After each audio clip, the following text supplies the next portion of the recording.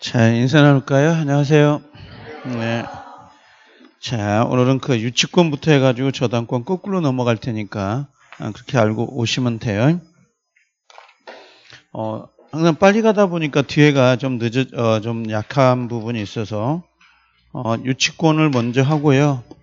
그 다음에 저당권하고 그 다음에 다시 앞으로 갈 테니까 그렇게 알고 계시라고요. 어, 유치권 한번 보시면 유치권은 반드시 문제가 배정이 되는 부분이기 때문에 에, 꼭 체크를 하고 가셔야 되는 부분이에요.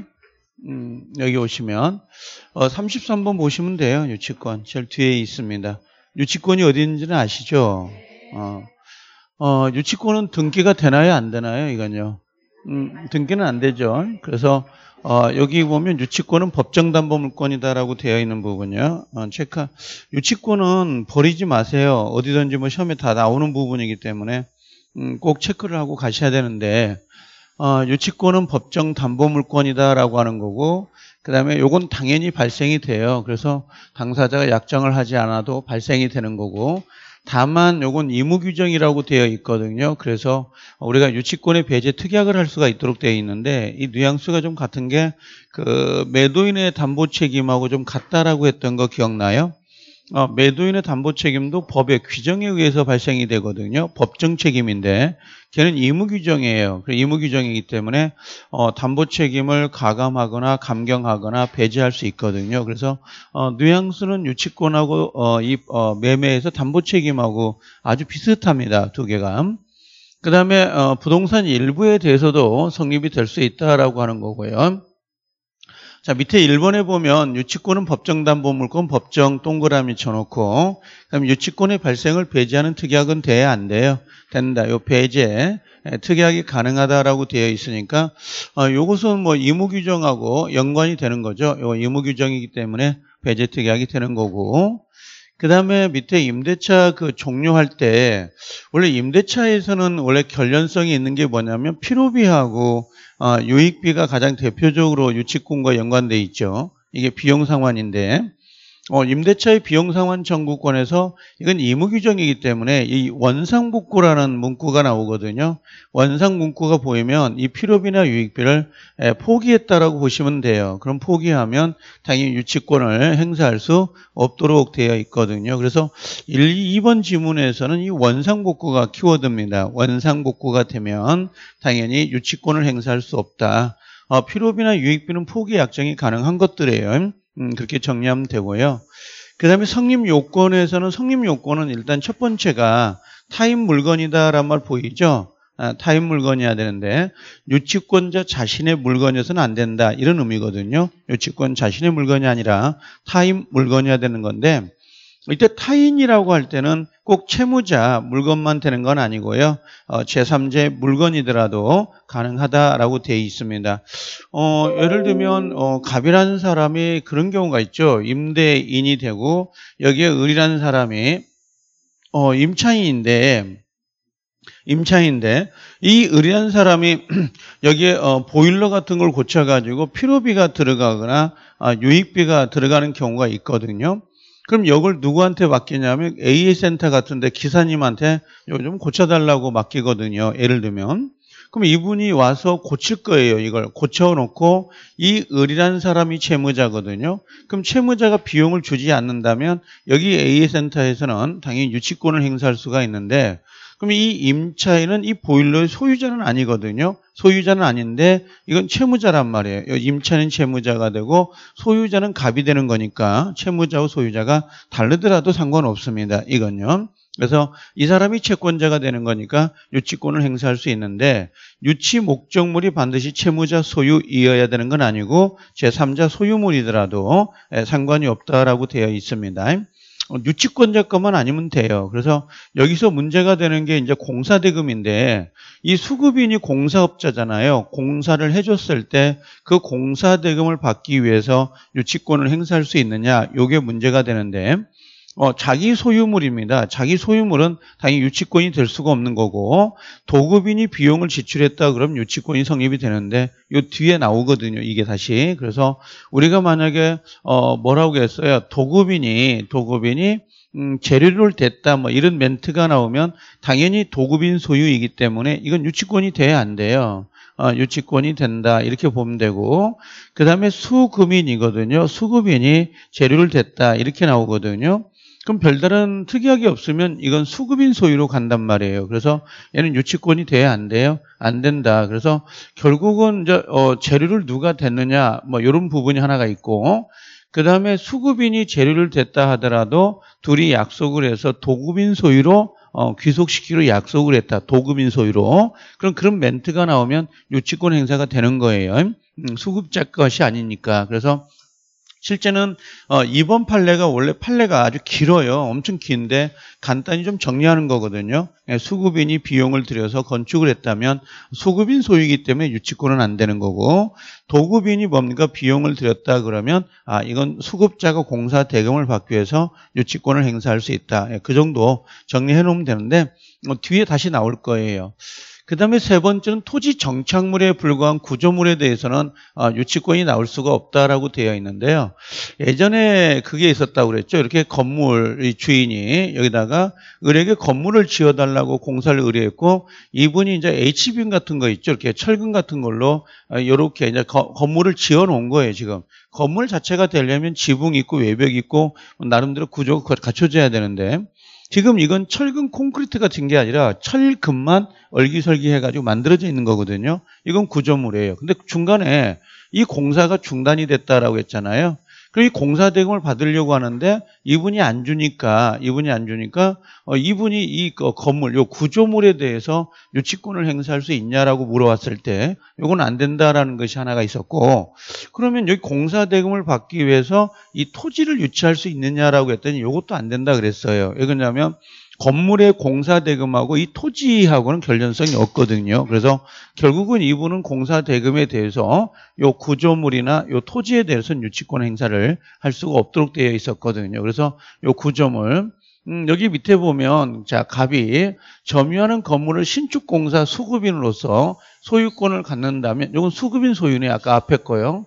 어, 수급인이 소유권을 갖는다면 수급자의 공사 대금에 대해서는 갑의 갑의 유치권은 인정돼야 안 돼요? 안 된다. 왜그러냐면 요거 수급인 소유로 어, 귀속시키로 약속을 했어. 수급인 소유란 말이죠. 그럼 자기 물건이잖아요. 자기 물건이기 때문에 유치권 자체가 인정될 수 없다라고 되어 있는 거고요. 어, 2분의 2번의 지분에서는 요게 키워드겠네요. 그렇죠? 도급인에게 기속시킨다라고 되어 있잖아요. 그럼 도급인에게 소유권이 넘어가는 거니까 유치권이 나와요? 안 나와요? 안 나오겠죠. 그래서 여기 보면 어, 도급인에게 기속시키로 한 아, 나오죠. 수급이니까 이 수급인 공사 대금에 대해서는 유치권을 행사할 수 있다라고 하는 거. 그래서 여기 키워드는 도급인에게 기속시키는 거고 여기 키워드는 수급인 소유로 되어 있으니까 이건 자기 물건이니까 유치권이 안 되는 거고 이건 타인 물건이니까 유치권이 되는 거거든요. 그래서 그렇게 찾으시면 될 것 같아요. 그 다음에 이번에 이 채권하고 목적물의 유치어 결련성이라고 하거든요. 아마 유치권에서 가장 시험에 많이 나왔던 게 이 결련성 문제일 거예요. 그래서 작년에도 나왔던 게 그 권리금이 결련성이 있느냐 없느냐 이 문제였거든요. 작년에 나왔던 게. 어, 여기는 채권하고 목적물은 결련성이 있어야 되죠. 예를 들면 수리비 채권이 100만 원인데 자동차가 이렇게 있다. 그러면 어, 이 자동차 때문에 수리비가 나와야 되거든요. 이건 결련성이 있어야 되는데 얘하고 좀 비슷한 게 어떤 게 있냐면 요거예요. 이 채권하고 그다음에 어, 이 목적물의 이 목적물의 점유라고 하는 부분이거든요. 목적물의 점유. 그러면 채권이 먼저 발생되고 나중에 점유하든 점유를 하고 있다가 나중에 채권이 발생되든 이건 상관없다. 어, 어차피 유치권에서는 가장 중요한 게 받을 돈은 있어야 되는 거고 그 다음에 목적물을 점유하고 있어야 되거든요. 둘 중에 하나만 없어도 유치권은 성립이 될 수는 없어요. 이건요. 받을 돈이 없는데 뭐 유치권이 나올 리가 없는 거고 말도 안 되고 목적물을 점유하고 있지 않다면 인도거절이라는 멘트가 나올 수가 없는 거죠. 저 유치라는 건 인도거절권인데 그럼 이 두 개가 있어야 되는데 결련성은 채권하고 목적물의 결련성을 요하는 거지 채권하고 점유와의 결련성을 요하는 건 아니에요. 그래서 어, 이 멘트가 나오면 어떻게 나오냐면 어, 이런 형태가 되죠. 어떤 형태가 되냐면 그냥 지워버리면 어, 요, 요런 거 있잖아요. 어, 어떤 게 있냐면, 어, 요렇게 정리해 보면, 요런 것들이, 요게, 어, 나중에 가 보면, 어, 요런 거예요. 요렇게 되어 있는데, 여기서 채권이 먼저 발생이 돼요. 수리비 채권이 100만 원, 예를 들면 100만 원 정도 나왔다. 수리비를 100만 원 받아야 되는데 점유를 여기서 할 수가 있잖아요. 이렇게요. 그죠? 그럼 점, 목적물을 점유하면서 채권이 나오는 경우 동시다발로 이래도 뭐 유치권이 나오는 거고 그다음에 점유를 먼저 하고 있다가 나중에 채권이 발생이 돼도 상관이 없는 거잖아요. 이렇게 앞서거니 뒤서거니니까 또 아니면 어, 어 점유 아니 채권이 먼저 뭐예요? 채권이 먼저 발생이 되다가 나중에 점유가 들어와도 돼야 안 돼요? 된다. 그러면 채권하고 저 점유하고 채권하고 점유는 반드시 갖춰야 되지만 앞서거니 뒤서거니 그건 상관이 없다. 그래서 채권 발생과 목적물 점유는 결련성을 요하지 않는다. 이런 의미예요. 음, 의미 자체가. 그래서 지금 나와 있는 게 그거거든요. 여기. 요거하고 요걸 좀 조심하셔야 돼. 요거하고 요거하고 요거하고 좀 다르다라는 거. 그러면 여기다 뭐 쓸 건 없는데 이런 거 있잖아요. 어, 뭐 채권과 뭐라고 했어요? 그 목적물입니다. 목적물의 목적물의 점유라고 하는 거 있잖아요. 이 점유와의 결련성은 필요 있다 없다? 이건 필요가 없다라고 하는 거. 그래서 요 채권하고 그다음에 점유 사이는 결련성이 있는 게 아니라 요 채권하고 목적물 사이에 결련성이 있어야 된다라고 하는 거. 어, 가장 유치권을 보다 보면 그 보증금 같은 게 참 궁금하거든요. 아니, 내가 그 집에 들어가 살기 때문에 보증금이 필요한 거 아닌가? 그럼 보증금하고 그 목적물하고는 결련성이 있는 게 아닌가? 이렇게 생각을 하거든요. 또 매매를 하다 보면 이 물건을 사가지고 오니까 매매 대금을 주는 거니까 이건 결련성 아닌가? 이건 결련성이 아니에요. 결련 이건 반대 급부로 지불되는 그 대가성인 거죠. 결련성이라는 건 그 물건 때문에 그 채권이 발생이 됐어야 된다는 거죠. 그러니까 매매 같은 경우는 그 물건을 가져오면서 반대급부를 지불하는 거고 지불 대가인 거고 여기 결련성은 그걸 뭔가 수선하거나 공사했거나 뭔가 뜯어 고쳤거나 그게 결련성이라는 의미예요. 반대급부로 주는 게 아니기 때문에 그럼 여기 보면 어, 유치권이 인정되는 경우가 있는 경우하고 그 다음에 뒤로 넘어가면 유치권이 없는 경우가 나오거든요. 이렇게 그래서 어, 두 개를 섞어 가지고 유치권이 어, 결련성이 있는 거 없는 걸 찾아라 뭐 그런 형태인데 가장 보면 결련성이 없는 게 여기 보증금이 가장 잘 나왔죠. 권리금하고 그다음에 매매대금이나 부속물, 지상물, 건축 자재대금. 지금 요 네 개는 전부 다 뭐가 되는 거예요? 전부 다 이게 매매대금이에요. 매매대금으로 반대급부거든요. 이게 그 대가성으로 지불되는 것이지 결련성을 의미하는 건 아닙니다. 여기서 말한 결련성이란 건 뭔가 고쳐야 됩니다. 그걸 결련성이라고 하지 반대 급부로 지불되는 것은 결련성이 아니란 말이에요. 그래서 여기 건축 자재 대금 이것도 매매 대금이거든요. 사고 판 거. 부속물 매수도 매매고 지상물 매수도 매매잖아요. 이게 매매 대금은 당연히 큰 거고 그다음에 여기 보증금 권리금 뭐 전세금 같은 거 이런 것들은 전부 다 결련성이 없다고 봐야 되는 거죠. 근데 어 아까 앞에 있는 거 어, 결련성을 보시면 여기 비용이거든요. 비용이라면 누구를 말하는 거예요? 필요비나 유익비예요. 뭔가 고쳤다는 의미고 그럼 수리비라든지 여기 공사 대금이라든지 뭐 이런 것들은 전부 다 결련성이 있는 거죠. 그래서 뭐 AS 센터에다 뭔가 물건을 맡겼다 뭐 이런 것들 전부 다 결련성이라고 보시면 되고 뭐 치료비 같은 것도 결련성이 될 수가 있는 거고요. 그래서 32회 때인가 그 염소가 뜯어먹은 거 있죠. 소가. 그래서 그 농작물 음, 농작물을 뭡니까? 뭔가 아, 훼손해 가지고 그 농작물의 훼손값을 받기 위해서 그 동물을 어, 유치하는 거. 요것도 요걸 훼손했거든요. 이런 것도 하나의 결련성이라고 보시면 될 수 있거든요. 그래서 어, 요 농작물이 시험에 32회 때 나왔고 33회 때가 상가금을 임대차 보호법에서 그 권리금 회수를 방해했을 때 목적물 반환과 그 결련성이 있느냐 없느냐 그 어, 유치권이 그 권리금이 한번 나왔던 것 같아요. 아 그건 동시항변권이죠. 내가 착각했네. 여기 한번 나왔던 거고요. 농작물. 생각하면 되는데 뭔가 뜯어 고친다고 생각하고 접근하면 될 것 같아요. 그냥 애우지 마시고요. 좀, 이렇게 이미지를 부여하면 음, 될 것 같으니까 요건 꼭 정리해 놓으셔야 돼요. 그 다음에 여기 보면 비용에서요. 비용이 필요비거든요. 유익비가 되는 거고, 그 다음에 유치권이 돼야 안 돼요? 될 수 있다라고 하는데, 예전에 그, 우리가 항상 그 필요비 유익비를 하다 보니까, 어, 그 필요비나 유익비는 당연히 유치권이 나온다 이렇게 생각을 하거든요.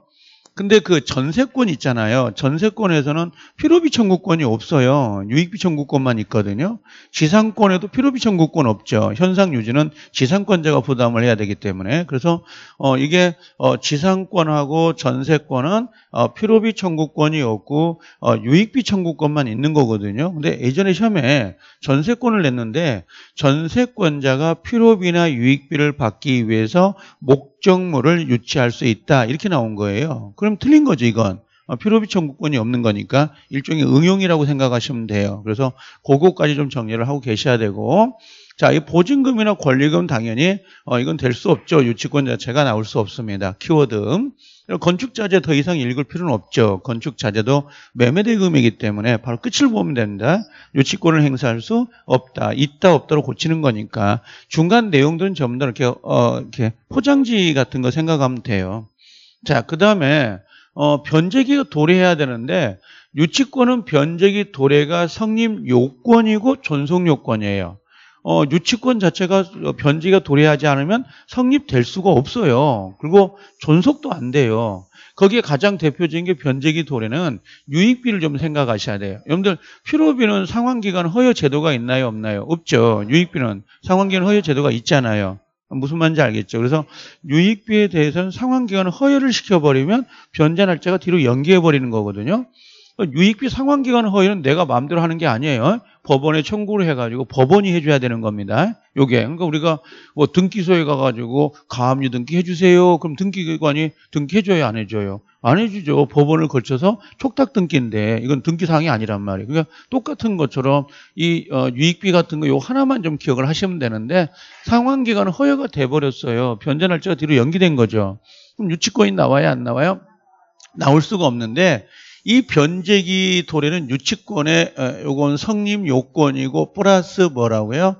존속 요건이에요. 이렇게 하나 어, 체크해놓고 요걸 조심하세요. 요 유익비, 요게 키워드입니다. 그래서 유익비가 아마 시험에 나올 확률이 좀 많이 있으니까 그 점은 좀 체크하셔야 돼요.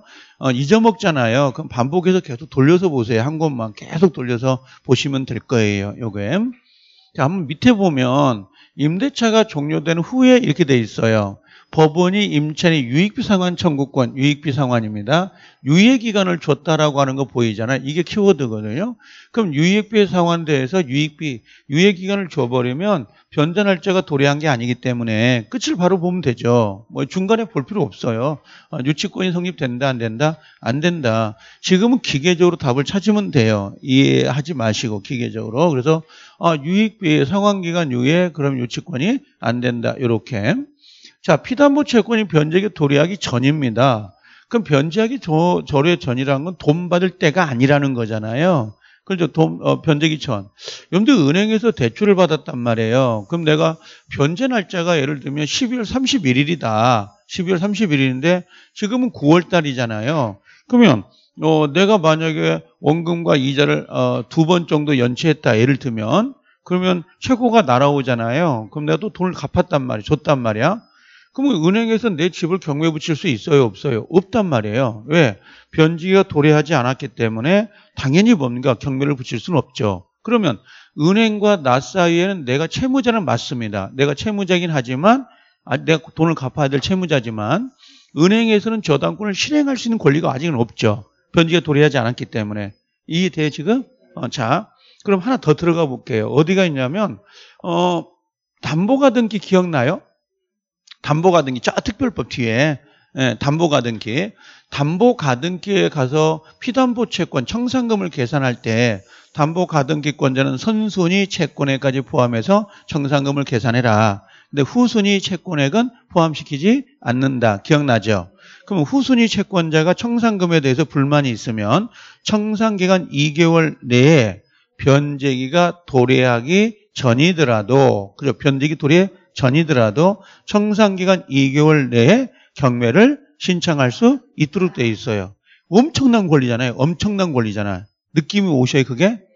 원래는 변제기가 도래해야 내 집을 경매 붙일 수 있는데 그 담보가 등기에서는 후순위 채권자가 변제기에 도래하지 않았음에도 불구하고 청산기간 2개월 내에서는 경매를 실행해 볼 수 있다는 거예요.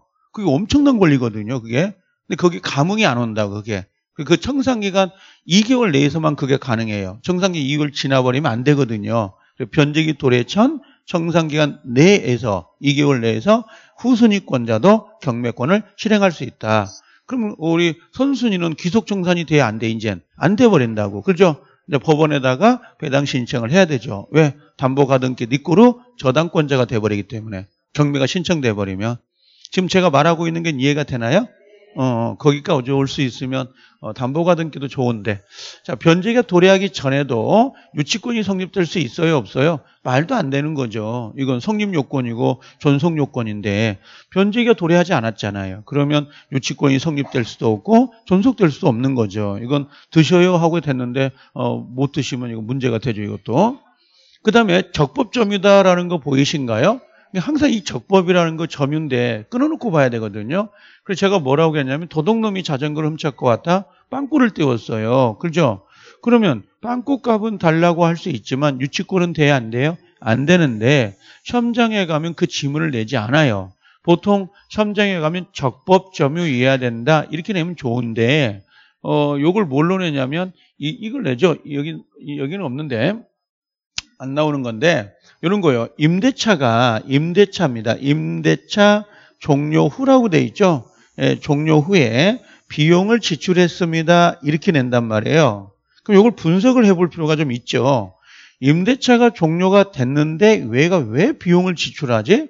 임대차가 종료가 됐다는 것은 이미 나가야 될 사람이라는 거예요. 근데 안 나가고 비용을 지출한 거죠. 그럼 이 사람은 지금 뭐예요? 불법이라는 의미예요, 이게. 이거 지금 불법이라는 내용입니다. 불법. 이거 적법이 아니란 말이야. 그럼 이건 불법이기 때문에 이 사람은 일단 첫 번째 이 비용은 달라고 할 수 있어요, 없어요?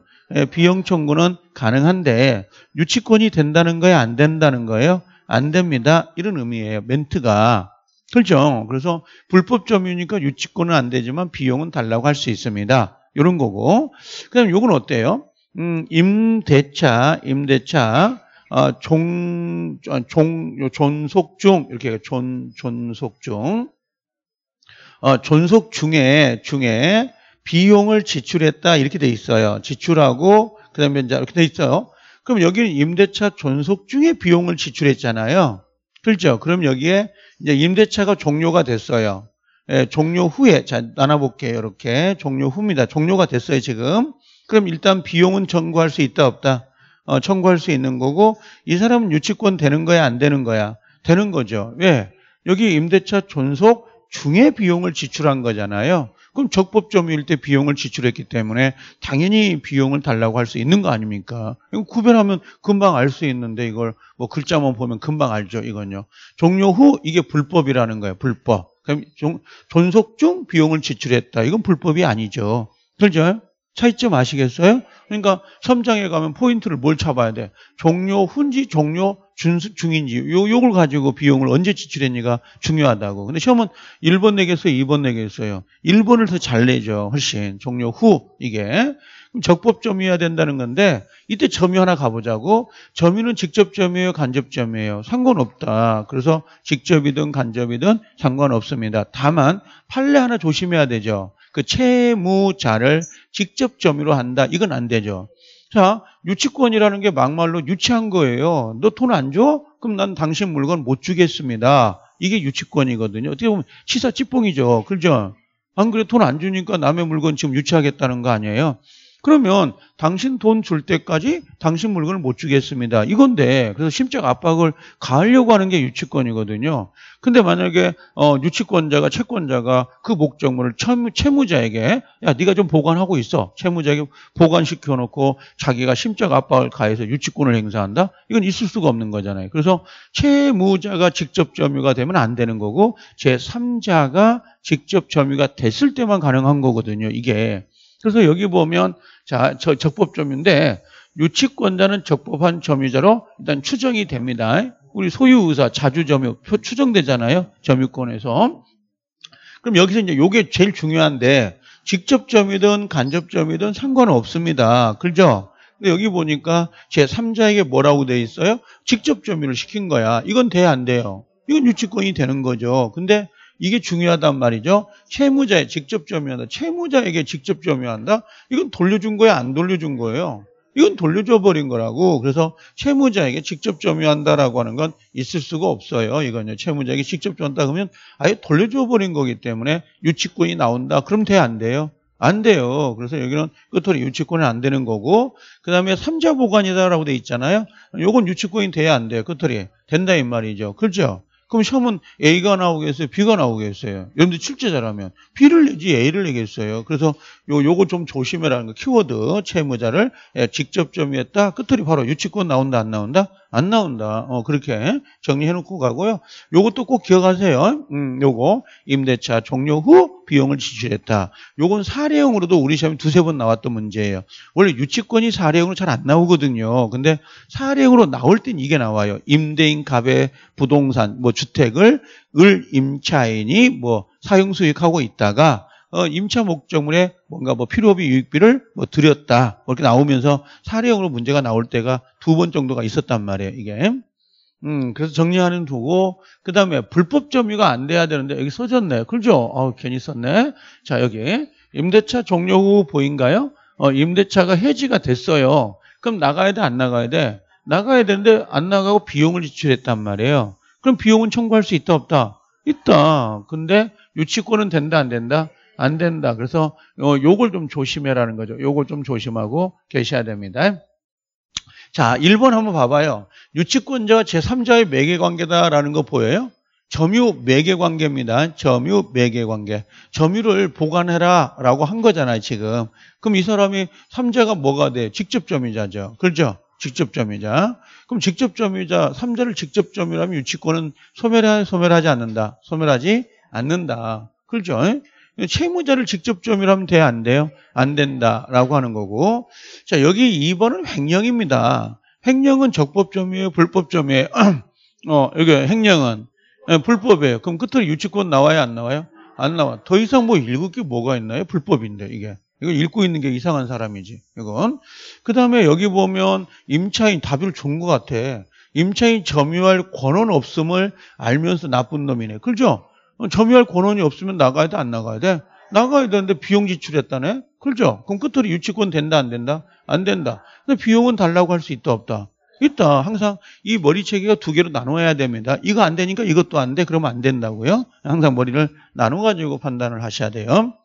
어, 그 다음에 여기 보면 뭐가 있나? 어떤 물건을 점유하기 전에, 어, 점유하기 전에요? 점유하기 전에 그에 관해, 어, 채권이 발생했네. 그럼 점유 전에 채권이 발생이 됐죠. 채권이 먼저. 그 뒤에 뭐야? 물건을 점유했네. 아 그러면 요거 말하는 거 아니야? 이렇게 나눠 가지고 어, 채권이 먼저 발생되고 나중에 점유가 됐습니다. 그래서 유치권 된다 안 된다? 된다. 앞서거니 뒤서거니 상관없습니다. 그래서 유치권이 성립될 수 있다라고 하는 건데 음, 요걸 다른 말로 바꾸면 무슨 말이에요? 지금 이 의미 자체 요, 요 4번 지문이 뭐예요 어, 채권과 뭐라는 거예요? 요 목적물에 뭐가 됐다? 목적물에 점유라는 거잖아요. 요 점유. 그죠? 그래서 이 채권과 목적물의 점유는 서로 결련성이 있습니까? 라고 물어보는 거잖아요. 지금. 있다, 없다? 음, 없다. 예, 이걸 말하는 거잖아요.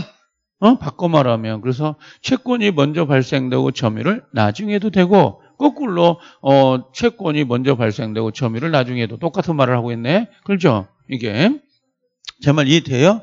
그래서 어, 점유, 채권, 채권, 점유 상관없다. 그 표현이에요. 지금 이 4번이 네, 그렇게 정리하면 되는데 요것만 하나 알고 계시면 뭐 괜찮을 것 같아요. 음, 자, 그 다음에 어, 여기 나왔네. 채무자를 여기 키워드가 예, 직접 점유합니다. 그러면 끝들이 바로 봐야 되죠. 유치권 나와요? 안 나와요? 안 나와요. 중간에 굳이 읽을 필요가 없어요. 그냥 지문이 그렇게 돼 있는데 뭐 이거예요. 어, 이 정도 뭐 쉽죠 뭐. 자 유치권 배제 특약 돼야 안 돼요. 되죠. 그래서 뭐 세탁물을 찾으러 갔을 때 그 세탁소 아저씨는 유치권을 행사할 수 있지만 그죠?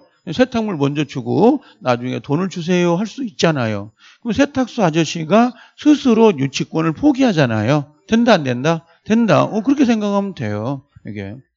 어렵지 않아요. 그런 거. 자, 유치권은 뭐야? 우물물이 있어요? 없어요? 어, 없죠. 우물물이 없단 말이에요. 이렇게. 예, 나중에 뒤에 가보면 뭐라고 하냐면 유치권자가 유치물을 점유하고 있었는데 도둑놈이 들어와서 절취했다. 그럼 유치권에 의한 반환 청구가 돼? 안 돼요? 안 되죠. 유치권에 의한 물청은 안 되니까. 근데 유치권도 뭘 가지고 있었죠? 어, 점유권. 그렇죠. 그럼 점유권에 의한 반환 청구는 된다, 안 된다? 된다.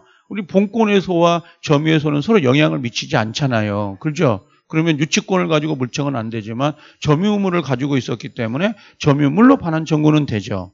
반환 받으면 그 소멸됐던 유치권이 다시 살아나요. 예, 물건을 받으면 이게 예, 그걸 말하는 거고 어, 여기 나왔네 점유의 기획임금은 된다 이렇게 자 보면 여기 보면 목적물이 유치물이 멸실 훼손됐다라는 거 보인가요? 그럼 지금 물건이 있다는 거예요 없다는 거야? 없어요. 물건이 없어진 거야. 그럼 점유가 없어진 거죠. 그럼 유치권이 나와 안 나와? 없어져 본다고 물건이 없어지면서. 그래서 물상대가 나올 수가 없는 거예요.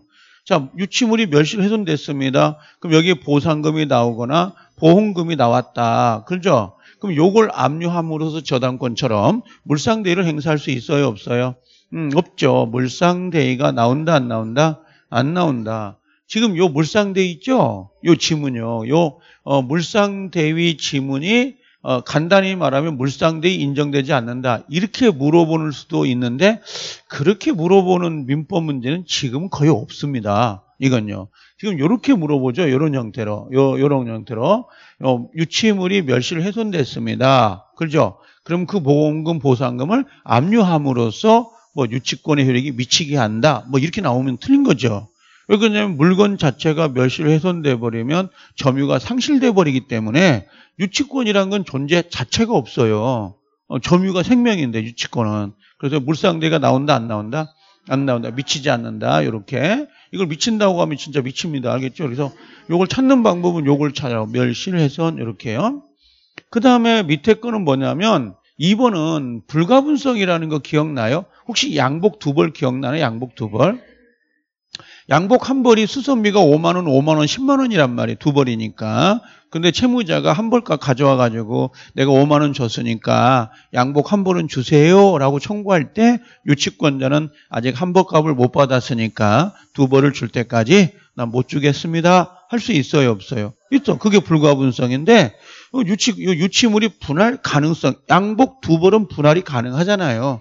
분할 가능해도 당연히 뭐야 뭐 일부를 변제했다는 거야. 일부 변제했다 하더라도 뭐라고 했어요? 여기 전부에 대해서 전부 그죠? 전부를 뭐 할 수 있다? 유치할 수 있다 없다? 있다. 이게 불가분성이거든요. 불가분성이 예, 적용이 된단 말이에요. 그래서 일부를 변제했다 하더라도 일부 소멸을 예, 된다 안 된다? 안 된단 말이에요. 일부 소멸이 안 된다. 이해 되시죠?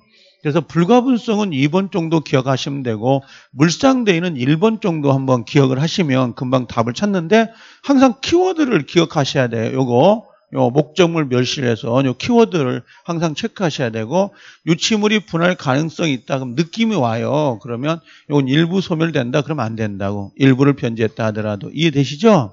음 오케이. 그 다음에 유치권자가 침탈당했습니다. 침탈당했어요. 침탈. 늦게 왔다고 해서 30분 지났는데 벌써 유치권 하고 있다. 그 오해예요. 아죠. 유치권부터 했으니까 혹시 늦은 거 아니니까.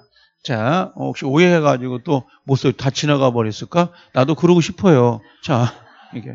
혹시 오해하지 말라고. 침탈당했단 말이에요. 그럼 유치권에 기한 건 돼야 안 돼요? 안 돼. 그럼 뭘로 가?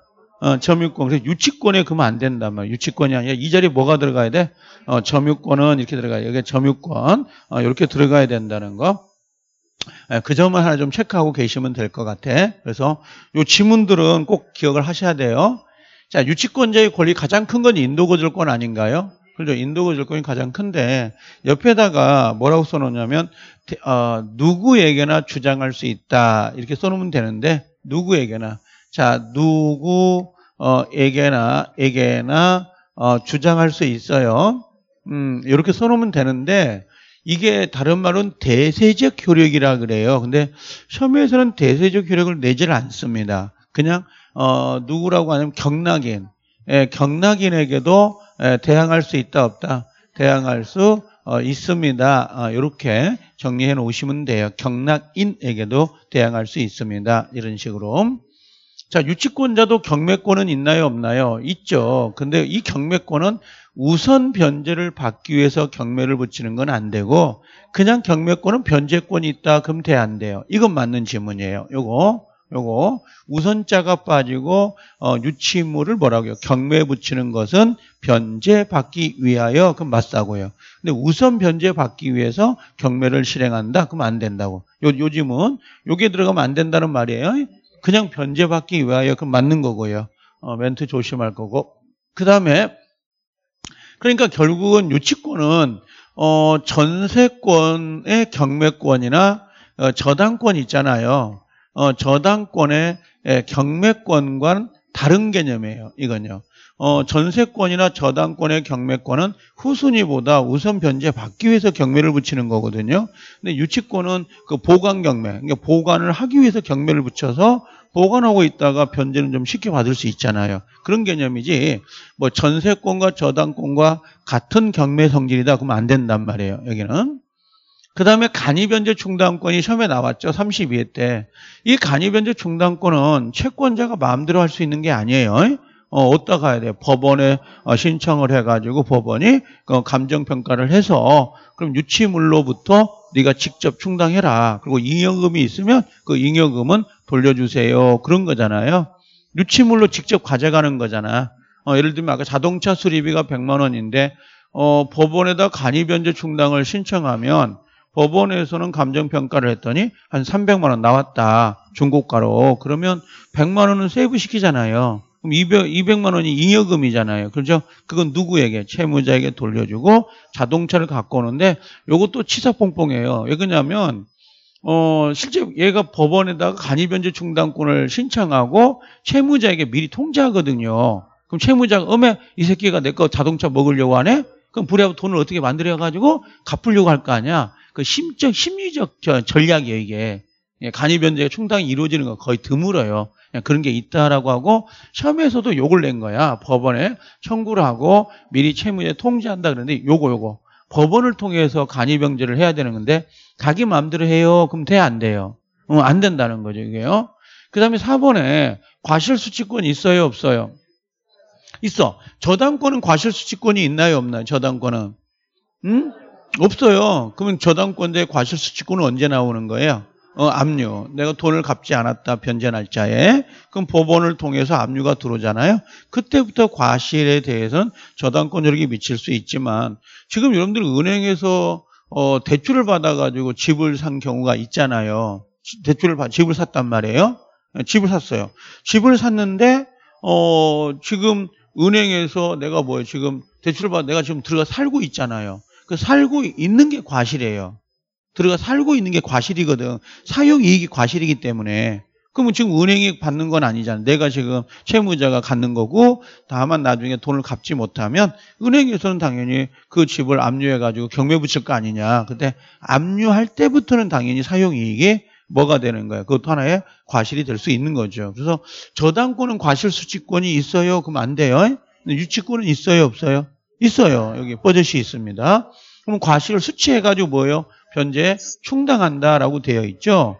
근데 이게 실제는 과실수취권이 어떻게 보면 우선변제권이에요. 그러니까 유치권은 우선변제권을 인정하지 않지만 우선변제권을 인정하고 있는 꼴들이 몇 가지 제도들이 나온단 말이에요. 이해되시죠? 어. 그럼 나중에 첨장이 갔더니 유치권자가 과실을 수취하여 후순위 채권자보다 먼저 우선 변제에 충당할 수 있다. 그럼 OX. 아, 그건 오예요. 그건 오라니까. 그 경매를 붙일 때 우선 경매를 아, 변제받기 위해서 경매 붙인다. 이건 안 되지만 얘는 뭐라고 해서 제가? 유치권자가 과실을 수취하여 후순위 채권자보다 자기 채권의 변제. 그러니까 이건 어, 수익성 채권이 아니에요. 수익 뭐 이익을 얻으려고 과실을 수취하는 게 아니라 변제에 충당시키려고 하는 거야. 누구보다 후 순위보다 먼저 우선 이해돼요? 어, 그래서 요, 여기는 우선이 들어가도 괜찮아요. 과실 수치권은 우선 이렇게 들어가도 괜찮다고 아셨죠? 음, 이의제기하면 다 받아줘요. 걱정하지 말고 답을 찍으세요. 몰라서 못 찍는 거지 뭐 이게. 어, 단지 요건 있어요. 과실 수취권이 물건일 수 있거든요. 돈이 아니고 물건일 수 있잖아요. 물건을 받을 수가 있어요. 그럼 물건일 때 이 과실이 물건이면 어, 요것은 뭐 과실이 물건이면 요건 경매를 붙이게 돼 있어요. 어, 물건일 때는 경매를 붙여라 이렇게 되어 있습니다. 조문상으로는 이게 한 번 정도 뭐 너무 양이 많나 이거 많이 알면 또 이것도 병 나는데 그죠? 이게 자, 그 다음 비용 상환 나오고요. 그 다음에 별채권 이렇게 나오죠. 채무자가 파산당하면 그 파산재단에 가입해서 돈 주세요. 이런 거 있잖아요. 예, 그걸 말하는 거예요. 자, 읽어볼게요. 유치권자는 경락인 누구에게나 대항할 수 있어요? 없어요? 있죠. 그렇죠? 음, 경, 경락인에게도 뭐라고 해서요? 인도거절, 유치권이외에 인도거절, 유치권을 행사할 수 있다 없다? 있다. 근데 변제는 돼 안 돼? 변제 청구는 안 된다라고 돼 있잖아요. 변제는 아무데나 달라고 하면 안 되는 거예요. 그렇죠? 뭐라고 해야 돼? 뭐라고 누구? 변제는 누구한테 해요? 채무자에게 하는 거예요. 채무자에게. 그렇죠? 채무자에게 청구할 수 있다라고 돼 있어요. 내가 동생한테 돈을 빌렸어. 동생이 찢어지게 가난해. 그렇죠? 아니 그 형제들 중에 동생한테. 근데 보면 그 옆에 형이 있더라고. 그럼 형한테 가서 동생이 빌린 돈 갚으세요. 그럼 후라이팬 날아온다고. 무슨 말인지 알겠어요? 그럼 형이 왜 갚아요? 그 채무자는 동생인데. 근데 신랑이 불렀어. 신랑한테 돈 갚으세요. 그랬더니 신랑이 돈이 없대. 그럼 누구한테 보라고요? 와이프한테 갚으라고 할 수 있어 없어? 있어. 왜? 부부는 일심동체. 그렇죠? 이게. 그럼 어떻게 그래서 가장 이혼하잖아요. 이렇게. 그렇죠? 나 채무 못 져요. 이렇게. 그럼 남남이 되니까 채무를 부담하지 않잖아요. 그러니까 채무자는 정해져 있는 거라고. 채무자는 정해져 있는 거고 그 다음에 그걸 뭐라고요? 여기 채무자는 아니라는 거죠. 경락이는 오늘 처음 본 사람 아니에요. 그럼 이 사람한테 돈 갚으세요 할 수는 없잖아요. 이 되죠? 그림 그려지는 거 기억나요? 음, 그래서 그거 말하는 거야. 아까 요런 거, 어, 요런 요런 형태잖아요. 갑이라는 사람이 거의 대부분 이거예요. 그럼 요걸 나중에 을이라는 사람이 공사업자거든. 그럼 공사를 했는데 이 집이 뭐예요? 경매로 넘어가 버린 거야. 그럼 낙찰자 병이 나올 거라는 거지 이 사람이 경락이니 그럼 이 사람이 와가지고 야 이거 내 집이야 내가 낙찰 받았어 당신 나가세요 점유하고 있는 거 그렇죠? 그럼 이 친구는 얘한테 뭘 청구할 수 있다는 거야? 자 인도 거절 유치권을 주장할 수 있다 없다? 음, 있다는 거야 유치권을 주장할 수 어, 있습니다 이런 의미예요 유치권이 가능하다라는 건데 문제는 공사대금 채권을 얘한테 달라고 할 수 있겠냐 이거지 오늘 처음 본 사람이에요 계약을 한 적이 없어요 이게 이건 변제 청구가 된다 안 된다? 변제 청구가 안 된다 이런 말이죠. 그럼 이 친구는 얘한테 변제 청구를 해야 되잖아요. 어, 이렇게 들어간다고. 근데 지금 갑이 돈이 있겠어요, 없겠어요? 없어. 그럼 왜 나가 안 나가? 안 나가. 버틸 거 아니냐 이거지. 그럼 누가 속타? 어, 경락자가. 그래서 경락자는 누구의? 이 을, 이 공사대금을 변제 뭐가 있어요? 예, 의무가 있는 거야. 변제 의무가 있어요. 그래야 이걸 내보내거든. 근데 변제 청구는 돼, 안 돼? 안 되는 거야. 문자가 달라요. 변제를 청구할 수 있냐? 안 되는 거야. 근데 낙찰자 입장에선 변제해야 돼, 안 해야 돼? 해야지 내보내거든. 그래 이걸 변제 의무라 그래요. 나중에 가면 이게 그러니까 낙찰자는 변제 의무가 있습니다. 이건 맞는 건데 그죠? 유치권자는 변제 청구할 수 있습니다. 이건 틀린 거란 말이죠. 근데 요건 잘 안 나오죠. 요게 중개사법은 나올 수가 있는데 우리 민법엔 이 지문이 잘 안 나와요. 경매에서 중개사법 경매 있잖아요. 거기는 배정이 될 수 있는데 우리 쪽은 나오지 않습니다. 우리는 요것만 내거든요. 요것만. 이해는 되죠, 지금? 오케이. 자, 그럼 보면 되고 그 다음에 됐고요. 자, 유치권자에게는 원칙적으로 어, 수익 목적의 과실 수취권은 인정이 돼야 안 돼요. 안 된다고. 수익 목적이 아니라 뭘? 변제. 어, 변제 충당이에요. 변제. 변제를 충당하기 위해서 어, 인정이 되는 거지 뭐 어, 수익을 목적으로 어, 하는 건 아니에요. 이런 것들은 자 그렇게 정리하면 되고 그 다음에 자 3번 유치권자는 유치물의 과실을 수취하여 다른 채권자보다 여기 나왔네 우선 먼저 그렇죠 먼저 이렇게 들어가도 OX 된다 왜 변제에 충당하려고 하는 거니까 이게 과실수취권이란 말이에요. 그래서 혹시 헷갈려 하지 말라는 거죠. 그 다음 유치물을 사용하는 거 조심해야 되죠, 이거. 어, 유치물 사용하면 돼, 안 돼? 안 되죠. 카센터 아저씨가 아침마다 출근할 때 남보르기 타고 다니면 되겠어요, 그거?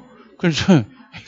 요즘 이 시가 되던데 남보르기가 그렇죠. 이게 승낙을 받아 이렇게요. 하도 마약 사범들이 많다 보니까 그죠?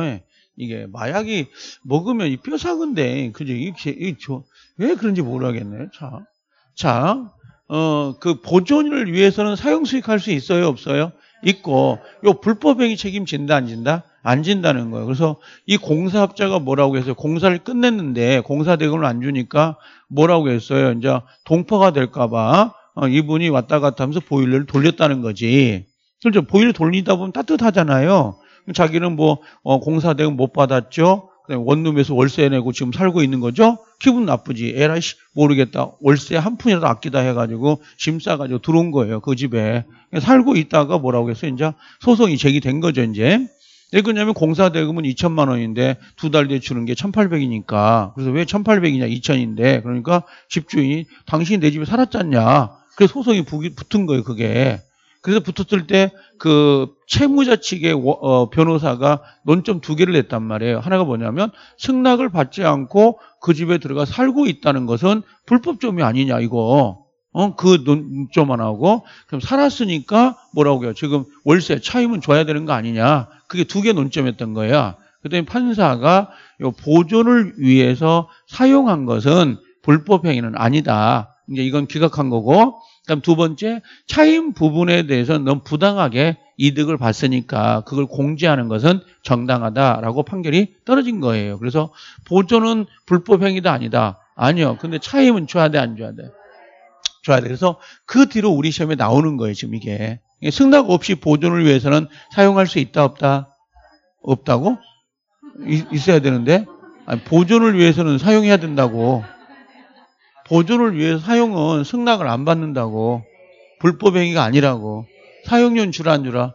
어, 주라. 그 다음에 어, 아까 목적물이 멸실 훼손됐죠. 그럼 물상대에 나와 안 나와? 안 나온다라고 되어 있습니다. 자 밑에 1번 봐보세요. 어디가 포인트에 보존 동그라미죠. 동그라미 보존. 그럼 불법 행위도 아니다. 아니다. 사용 승낙 받아 안 받아? 안 받아. 근데 차임은 주라 안 주라? 줘라. 그래서 그 이득금은 반환을 의무가 어, 없다라고 했는데 틀렸네요. 있다 해야 된다는 거지. 여기는요. 자, 이번에 공사대금입니다. 자, 공사대금 동그라미, 거주 동그라미. 이 거주가 보존이거든요. 예, 보존 생각하면 되고 불법행위다 아니다? 아니다. 그럼 유치권이 소멸된다 안 된다? 소멸되지 못한다. 다만 3번 보존이잖아요. 그럼 차임은 주라 안 주라? 차임은 끝돌이 부당이득이니까 반환하여야 합니다. 보이시죠? 예, 한 세트니까 어, 중요한 부분이에요. 체크를 꼭 해놓으시라고요. 자, 여기 4번을 여러분들 기억하고 있죠? 어, 유치권을 행사하면 채권은 소멸시에 걸려야 안 걸려요? 어? 아이, 그, 안 걸리지. 아니, 그, 제가 이마에 했을 건데, 그 유치권은 인도 거절권이고 채권은 돈 달라는 거잖아요. 그렇죠? 그러면 채권, 돈 달라고 하는 권리는 시효가 진행돼요. 소멸시효가. 그럼 유치권을 행사하고 있어 인도 거절하고 있다 하더라도 즉 채권자가 자동차를 점유하면서 인도 거절하고 있다 하더라도 그 채권이 있잖아요. 수리비 채권은 변제 날짜부터 뭐예요? 시효가 진행되고 있는 거야. 그럼 유치권을 행사하고 있다 하더라도 간헐적으로 돈 달라고 하지 않으면 채권을 행사하지 아니 한다면 시효는 진행돼야 안 돼요. 어, 진행된다 이 말이죠. 그러면 우리 저당권 기억나요? 저당권을 행사하고 있다 하더라도 채권은 소멸시효가 진행됩니다. 동시 이행 항변권을 행사하고 있다 하더라도 채권은 소멸시효가 진행됩니다. 이 세 개만 시험이에요. 어, 세 개만. 그래서 여기 보면 어, 여기다 써놔도 돼요. 여기다 저당권, 예, 동시항변권 이렇게. 그럼 도, 저당권, 동시항변권, 유치권을 행사하고 있다 하더라도 받을 돈은 어, 소멸시효가 진행된다 안 된다? 진행된다. 어, 이렇게 정리하면 됩니다. 채권은 소멸시효가 진행됩니다. 자, 그 다음에 예, 됐고. 자, 공사대금은 아까 이야기했던 거네. 도급인이 재료, 그럼 유치권 나와요? 예, 소급인 재료, 그럼 유치권. 안 나오고 지금 그거 말하는 거 요거 연결만 하면 돼요. 그 다음에 요게 6번은 가장 어려운 판례라고 했던 거 기억나죠? 그래서 요 그림을 그릴 때 뭐라고 했던 거예요? 어, 그거 있었잖아요. 어떤 거였냐면 우리 용익물권 있었잖아요. 저당권하고 그 다음에 용익물권 있잖아요. 요것은 이렇게 돼가지고 여기가 저당권이 지금 들어와 있는 거잖아요. 여기 도 저당권이 있을 수 있는 거고 예, 말소 기준 권리 그렇죠. 근데 용익물권이 어디가 있는가? 용익물권이 여기가 있어요.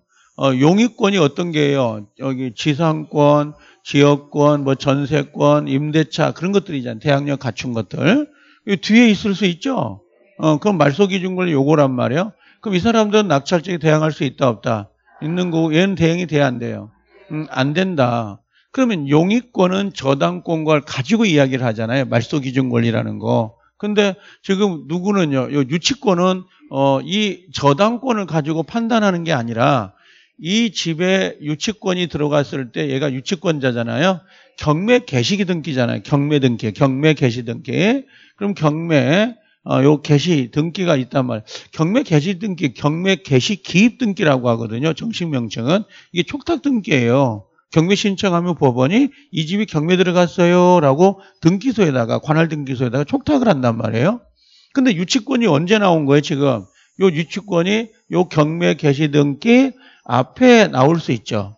그럼 저당권 뒤에 있잖아요. 상관없어. 대항력 있다 없다. 있는 거고 요 뒤에 성립될 수 있잖아. 이건 성립은 돼 안 돼?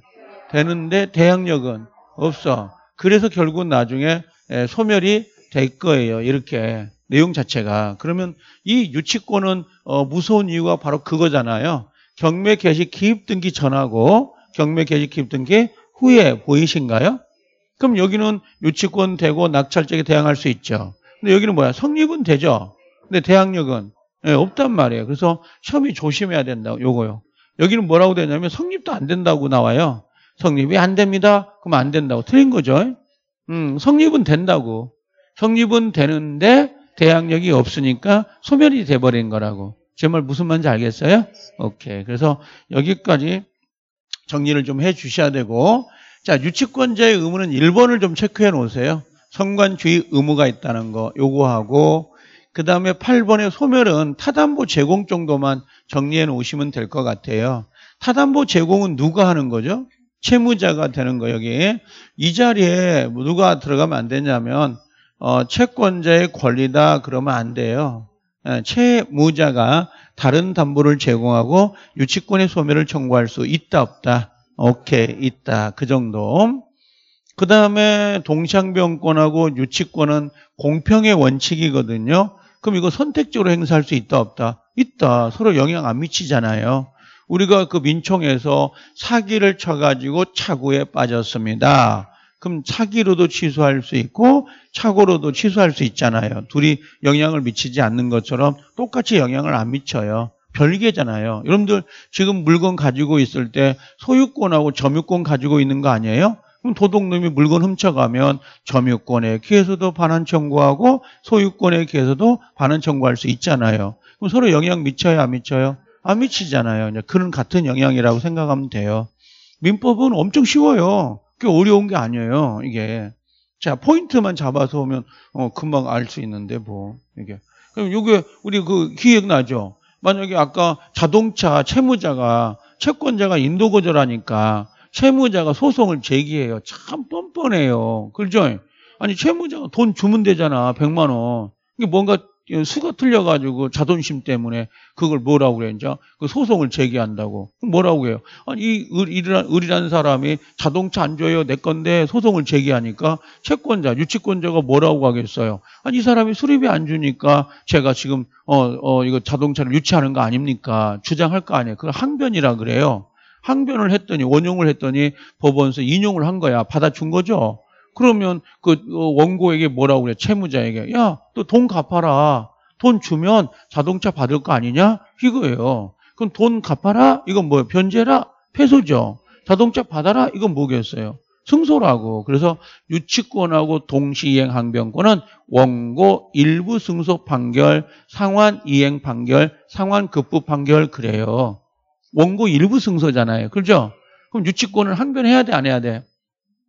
해야죠. 당사자가 주장하지 않으면 법원은 그걸 당신이 유치권 있는갑다. 그거 어떻게 알겠어요? 그죠? 주장을 해야 그걸 받아들여 가지고 원고 돈 갚아 어, 자동차 받아 그죠? 돈 갚아 패소 자동차 받아 승소잖아요. 그래서 원고 일부 승소 판결, 일부 패소 판결인데 너무 기니까 그냥 원고 일부 승소 판결 이렇게 떨어지는 거고 실제 우리는 이 원고 일부 승소 판결은 우리끼리 쓰는 단어고요.